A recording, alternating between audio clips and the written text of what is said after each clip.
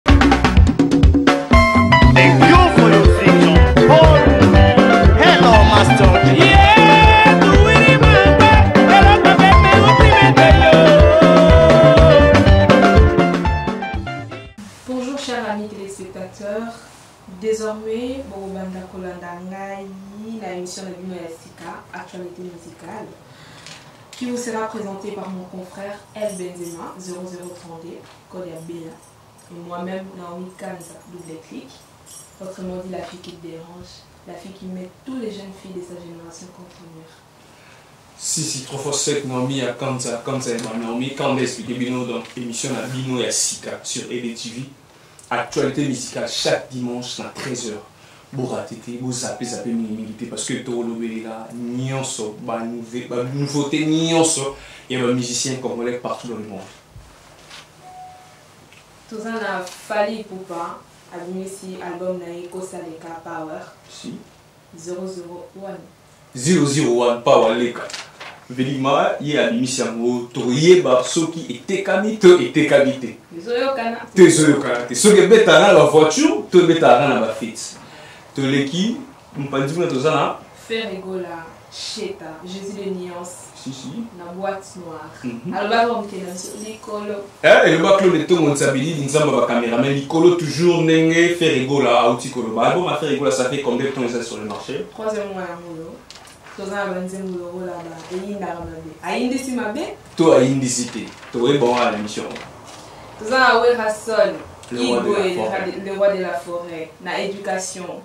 Si, si. Hein? Produit par ye moko le représentant légal, ni makambo le représentant.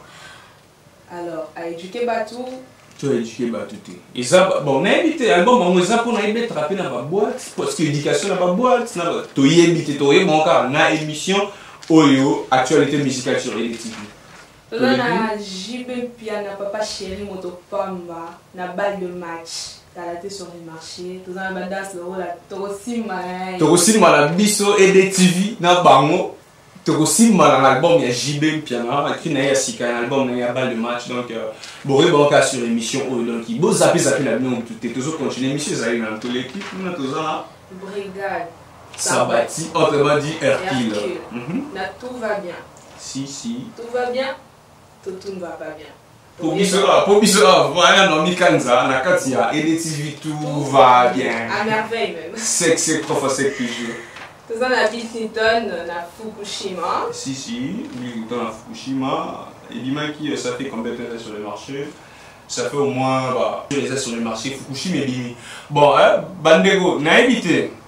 Po emission oyo vraiment tolandela ba information na bango vraiment bien parce que omoni fiche oyo toza nango oyo ezali fiche moko tokokabola yango partout na baédition nyonso oyo ezali na europe awa na balausanne na paris na londres na hollande partout tokotika fiche oyo na baédition sikoyo soki baartiste na bino bolingaka bakoteka to bakoteka te naomikanisa double clike aza wana tokoyeba yango awa parce que bato ba édition nde bando ekoma signature na biso ede tv ezala nango te biso tozalaka juste mpo toleki le, le week-end torécupere papier na biso mpo na dimanche oza satisfait na émission na bino actualité musicale naomi kanzaravo toza na baartiste na biso sparoza mbota na menu yo choix Si, si. oza na banzembo yango ya sentiment ya ye moko jano bamba trois fois bas si si jano bamba trop focus mbote no pena mwana do album wana soki ebimi ebima ezobima eke ya mama to ya mama te tokoyeba yango kaka na actualité musicale na biso parce que bamission mpe baza ebele na mosusu nano mpe kutu nano babimisi bapiste ba, ba, ba, bango te toza mpe na, na, na mati single ya frère na biso j3 j césar mimbongo na nkombo ya soso ya babienveni ye mpe karami mpe sur le marché bokoyokaka banzembo ebele ya kitoko mpeza wana tokoyebaka na émission oyo ah toza na fabregas métis noir ah alobi azosala ne remix ya amour amour ya te ya nabi bato bolingana lwaki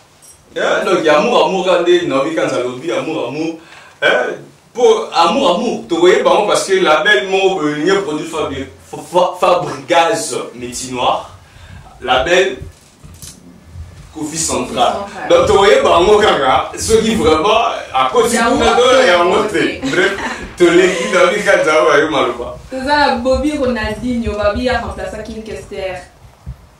a remplaça te po papa aza nano envie mais ako remplace ye na album na ye payage aza nao na studio olobaki naomi kanza nzembo mobima tozozela ekobetama ekoyambama toyambama te naomi kanza kobina to akobina te toleki bobi ronaldinho oyo pia toza lisusu na bamisio na biso ya oko baza un peu ebele bokoyeba kaka banews na bango sur émission oyo parce que émission oyo eza émission moko ya sika ekoti na kati na ye de tv donc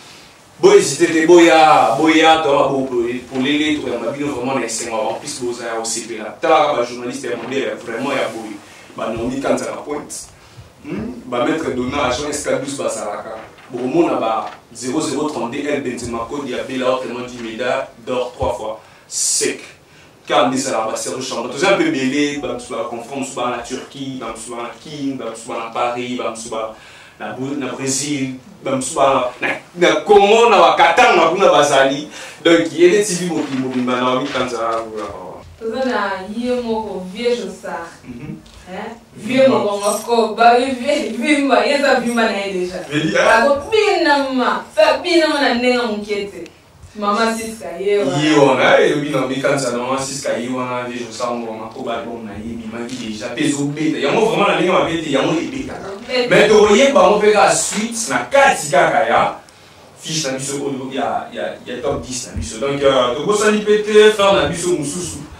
ye mpe mopanzi na basud azobimisa album na ye silva kitenge le vieux pongi album ne mpe ezobimaka na mingi te donc ye mpe tokolobela yango kaka na baémission oyo nabosani mpe su te jolokis aza mpe kaka naza na studio ye mpe album ne ezobimaka na mingi te donc bozala ya kosepela bozwaka banews wana kaka na kati ya émission na bino actualité musicale toleki toesplike bino mpe deja mo ebele émission oyo ebanda ozala chaque dimanche sur edtv na 13 heures juste bozape te so bozape ka liyo oyo bolali na mikanza balobi ya biso erataka te